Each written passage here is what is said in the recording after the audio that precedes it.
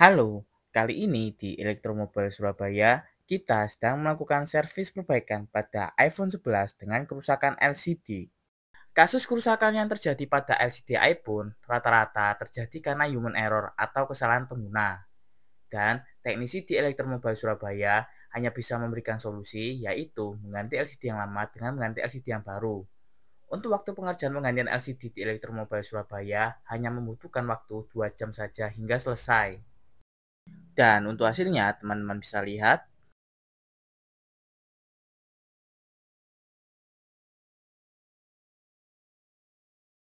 Untuk informasi seputar harga dan juga layanan servis yang lainnya di Elektromobil Surabaya, silahkan kunjungi di situs resmi kami www.ilmusub.com. Sekian dan terima kasih.